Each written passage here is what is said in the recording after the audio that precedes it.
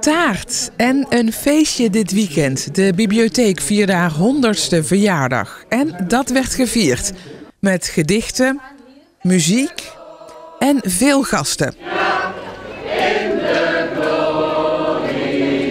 In die eeuw dat de bibliotheek bestaat, is er wel een boel veranderd. Je moet je voorstellen dat je 100 jaar geleden, ja, was het allemaal veel stichtelijker. Je, je, mocht niet zomaar ieder boek uh, lenen. En dat is nou echt heel anders. Het is zo dat ze, ja, we zijn juist van vrije, openbare uh, informatie. Informatie moet zoveel mogelijk gedeeld worden, omdat we denken dat als je juist, ja, kennis op zich is dood, maar als je het deelt met mensen en je gaat erover met elkaar in gesprek, dat is hoe je werkelijk tot ontwikkeling komt. De Biep heeft het in al die 100 jaar, vooral de laatste jaren, niet gemakkelijk gehad.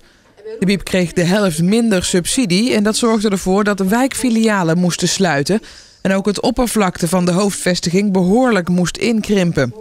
Maar directeur Albert Kiewit heeft die tijd definitief achter zich gelaten. Ik ben heel erg trots, heel erg trots op de medewerkers en de vrijwilligers die de bibliotheek vanuit een hele moeilijke en lastige positie uh, ja, eigenlijk weer springlevend midden in de stad uh, hebben, uh, hebben gebracht.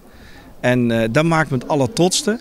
We, we, we, zijn steeds weer het middelpunt van de stad om kennis te delen. En om ook het lezen te bevorderen. En om ook ervoor te zorgen dat ook heel veel jongelui ook steeds beter om kunnen gaan met allerlei nieuwe technologieën. Op naar de volgende 100 jaar dus, als het aan de bibliotheek zelf ligt. Met het thema 2116 wil de bibliotheek Eindhovenaren laten nadenken over hoe de bieb en de stad er over 100 jaar uitzien. Dat er nog weinig papieren boeken zullen zijn, nieuwe papieren boeken, dat het allemaal digitaal zal gaan. Nou, meer techniek en zo en dat soort dingen. Uh, ik denk dat, er, dat het toch belangrijk is dat er een fysieke plek blijft. Het is natuurlijk heel belangrijk dat er heel veel digitale ontwikkelingen zijn, maar ontmoeten is natuurlijk ook belangrijk. En dat, dat kan niet alleen maar digitaal, denk ik. Met dit apparaat kunnen in de bibliotheek de ideeën worden ingescand.